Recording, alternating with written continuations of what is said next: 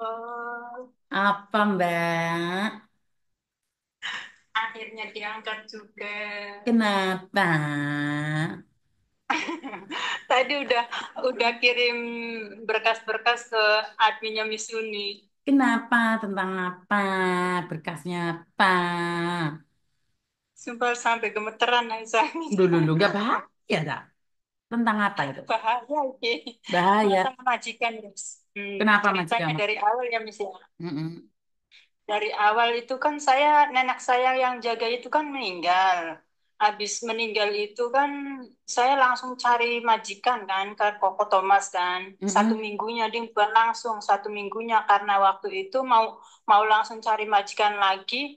Majikan belum ngomong apa-apa kan. Terus pikiran saya itu kan masih dalam keadaan berduka. Jadi mungkin nggak pantas lah langsung ngomong gitu kan masih ini. Lah satu minggunya kemudian saya itu ke Koko Thomas dan Mm-mm. tiga hari itu saya udah dapat majikan dari Koko Thomas tanya. Mm-mm. Terus? Lah terus masuk lima harinya itu Miss masuk lima harinya itu majikanku ngajak ke agent agentku yang lama Mm-mm. lah habis ke agent yang lama tahu-taunya dia itu nanda tangan atas namanya dia sendiri gitu ganti nama Mm-mm. neneknya meninggal udah semuanya long service apa di dikasihkan terus ganti nama atas namanya dia Mm-mm. dengan atas nama itu di kontrak kerja juga namanya alamatnya sini sama nenek namanya cuman ganti nama dia dan kerjaan Mm-mm. saya kerjaan bersih-bersih rumah sama masak saja katanya kayak Mm-mm. gitu kan Mm-mm. karena dia kan masih masih sehat masih kerja kan cuman Mm-mm. kalau siang itu saya suruh masak untuk nyiapin untuk bekal nanti kerja bawa dibawa kerja dia kayak gitu kan Mm-mm. udah saya kan udah alhamdulillah udah oke ya kan ya. Lah Mm-mm. yang tadi di Koko Thomas yang tadi itu jadinya saya tak iniin Kamis tak putusin Mm-mm. kan mohon maaf ya Koko. Ini majikan saya nggak ada konfirmasi lagi untuk ah, ini majikan tak bilang kayak itu ganti nama untuk majikan gantinya ganti dia bilang. karena ini satu satu apa satu agensi yang lama itu kan Miss. Terus saya nggak bisa ngomong apa-apa kan. Terus sa- saya diokein kan ya udah oke lah kalau masih masih membutuhkan saya saya pikir kan dianya masih membutuhkan saya kan Miss Mm-mm. lah tahu-taunya itu Miss sekarang itu pisahnya udah turun Mm-mm. pisah itu dari udah baru kemarin Miss baru kemarin pisah Mm-mm. turun itu Mm-mm. lah ngomong saya mau di mau ditaruh ke tempat temennya jaga nenek katanya kayak gitu kan lah terus kan saya kan ngomong dari dari sebelumnya itu kan kalau misalkan saya mau di mau ditaruh di temannya atau di siapa saya nggak mau saya bilang kayak gitu kan karena ini bukan jobnya karena kamu yang ambil atas nama kamu tapi alamat sini rumahnya di sini ya kerja saya di sini bukan di tempat lain saya bilang kayak gitu kan Mm-mm. itu masih oke kan, Miss. Dia cuman kayak nggak nggak menggubris omongan saya, Miss. Lah, habis itu kemarin pas kemarin pisan itu turun, dia malamnya lagi ngomong langsung. Kamu besok katanya ke itu ya, katanya ke tempatnya enak yang itu katanya. Soalnya katanya hari uh, tanggal 15 katanya pembantu yang lama katanya udah mau pulang katanya. Terus kan saya ngomong baik-baik kan, Miss. Itu saya mau direkam tadinya mau direkam saya lagi teleponan sama Yayuku di Indonesia kan. Saya nyuruh Yayuku suruh ini rekaman gitu kan. Rekaman ini omongan ini. Dia nggak ngeh mis mau direkam itu dianya nggak ngerti malah di, didengerin aja sama dianya itu. Padahal karena saya ngomong suruh direkam itu HP-nya dia kan ada lagi ada dua gitu kan. Suruh rekamin gitu kan biar nanti dikirim ke saya kayak gitu kan. Ya nggak kerekam ya semalam ngomong itu. Mm-mm. ngomong sama marah-marah kan dia itu. Ngomong kamu katanya nggak mau ke sana katanya.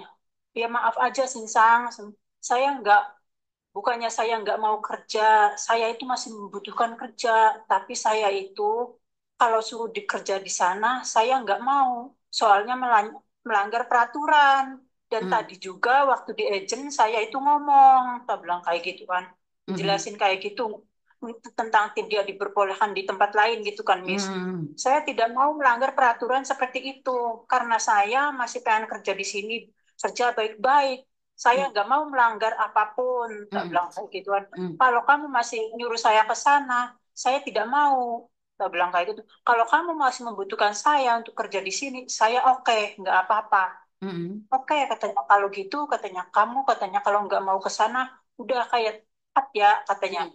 kontrak kerja kamu cut katanya nanti tanggal 31 katanya kamu pulang katanya. Nanti katanya urusan uang apa sa- sama nanti omongan sama agent katanya nanti saya telepon katanya Hmm. terus langsung saya tuh lemes kan Miss kayak gimana gitu kayak nggak percaya kayak gitu kan Miss Hmm. ya Intinya Allah adalah satu, intinya satu, jalan. intinya satu.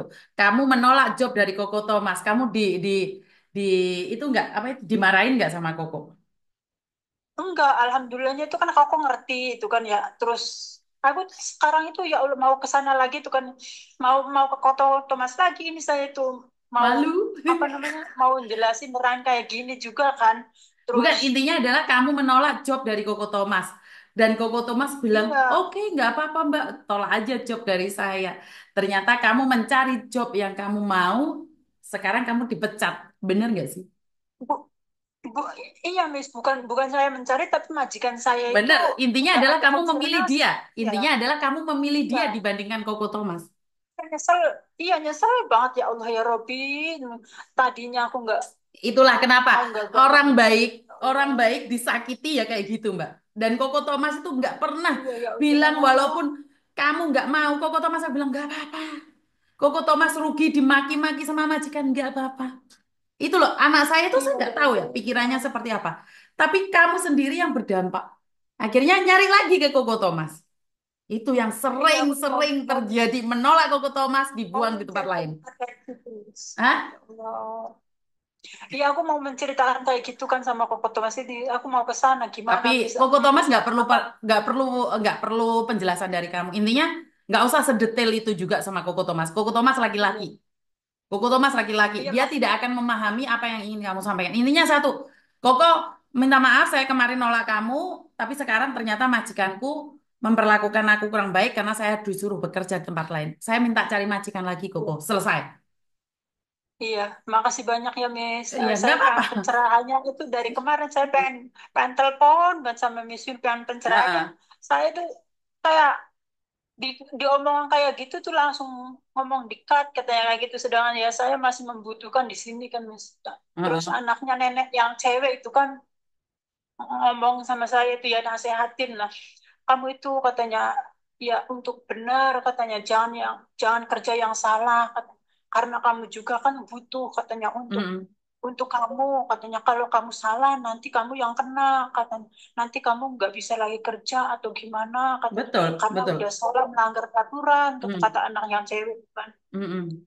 dari nasihat anak cewek itu Miss adiknya itu nggak dengerin Miss Mm.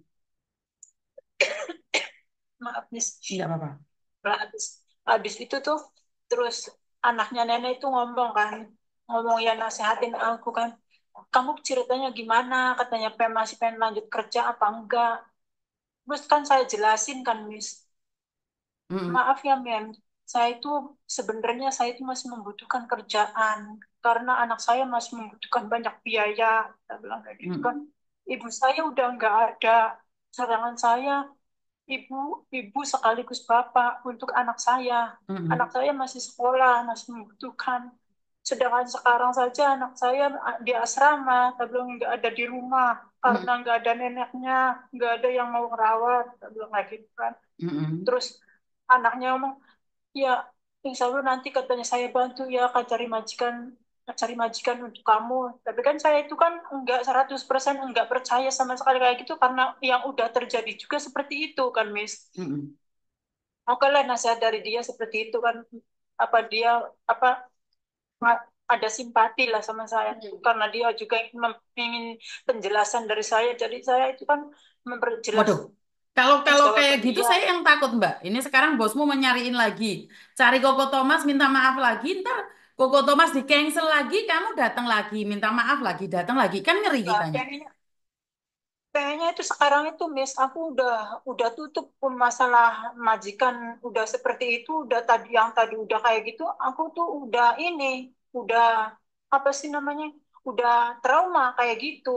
Ah, iya, Maunya saya yang takut ini kamu ditawarin lagi nih. Sudah tahu digituin, ditawarin lagi, ntar minta maaf lagi sama Koko Thomas. Eh, nggak ambil majikan dari Koko Thomas lagi, ntar minta datang lagi, minta maaf lagi. Kan ngeri nanti jadinya. pengennya sih enggak, Miss. Saya udah udah hati saya tuh udah ini, udah apa namanya, udah trauma seperti itu. Udah nggak pengen lanjutin majikan ini dan nggak pengen ada hubungan lagi sama majikan yang ini gitu, Miss. Kalau udah ada majikan lain, udah saya positif ke majikan itu, saya misalkan saya nunggu, kan nunggu, pengennya nunggu visa di rumah ya di rumah gitu, Miss. Di Yang Indonesia penting jangan pelin-pelan loh. Jangan pelin-pelan loh ya. Iya, Miss. Heeh. Iya, Miss. Saya sudah. Saya ngingetin, pengen, jangan pelin-pelan. Udah, saya udah pengen tekadkan untuk ini. Saya mau, sekarang itu saya udah siap-siap mau ke Koko Thomas. Tadi juga SM, eh, udah SMS sama Koko Thomas mau ke kantor. Satu hari sehari ini saya mau ke kantor Koko Thomas. Buka enggak? Dia bilang, buka katanya gitu. Oh, Jumat biasanya Koko tutup loh. Buk, ah, ngomongnya buka, Miss. Heeh, Tadi bias- itu. biasanya tutup. Ya setahu saya tutup ya, tapi ya nggak tahu ya. Kalau menurutku ya hari Sab- Sabtu aja sih. Tapi ya pikiran saya itu hari ini Jumat, nah kata Miss Yuni itu kan kalau Jumat tutup gitu kan. Lah tadi tuh saya SMS sama Koko tuh, lah Hmm. tadi pagi tuh. Koko hari ini buka apa enggak? Buka Mbak, kayak gitu. Oh ya udah kalau buka ya buka nggak apa-apa loh. Nggak apa-apa loh. Kalau Ya, buka ya buka aja nggak apa-apa. Ya wes, ya lain kali jangan dan itu aja ya pesan Miss Juni ya. Ya, Miss, terima kasih banyak, Miss. Oke. Itu Oke. misalkan kayak gitu berarti masih bisa ya, Miss ya? Kenapa? Masih bisa untuk ini cari majikan yang lain itu. Masih bisa sih, cuman ya ya nggak tahu nanti majikannya mikirnya seperti apa. Kan takutnya kamu pelin-pelan lagi atau seperti apa. Kalau Koko Thomas masih mau nerima kamu ya nggak nggak apa-apa sih. Cuman saya pesan satu jangan pelin-pelan aja. Iya, Ah, iya, Miss, siap, Miss. Terima kasih banyak ya, Miss. Terima ah, kasih. ah, ah, Oke. Yuk, Assalamualaikum warahmatullahi Waalaikumsalam. wabarakatuh. Waalaikumsalam warahmatullahi wabarakatuh. Karena eh, kalau di tempat-tempat lain cancel job, cancel apa itu sangat maafan sekali. Ya, anak saya selalu berdoa buat teman-teman yang cari job, cancel dan berdoa, selalu berdoa. Saya ajarin Koko berdoa saat kamu kecewa, saat kamu marah, doakan mereka agar baik-baik saja. Karena kalau mereka baik-baik saja, mereka suatu saat akan nyari kamu. Tapi kalau kamu nggak, eh, kamu berdoa mereka nggak baik-baik saja, maka suatu saat mereka nggak akan nyari kamu lagi. Karena doa yang baik itu akan kembali pada yang punya. Itu suatu prinsip ya. Jadi saya selalu mengajarin Koko Thomas, marah pasti, kecewa pasti. Karena Koko Thomas juga pastinya akan akan di, dimarahin sama majikan. Tapi apa yang bisa dilakukan oleh Koko Thomas? Bener nggak sih? Apa yang bisa di- dilakukan oleh Koko Thomas? Kecuali dia benar-benar meminta meminta kalian ya udah nggak apa-apa. Sopo meneh iki mintuk dana teko pemerintah iki? Bener nggak sih? Nggak ada masalah. Emang ada masalah apa?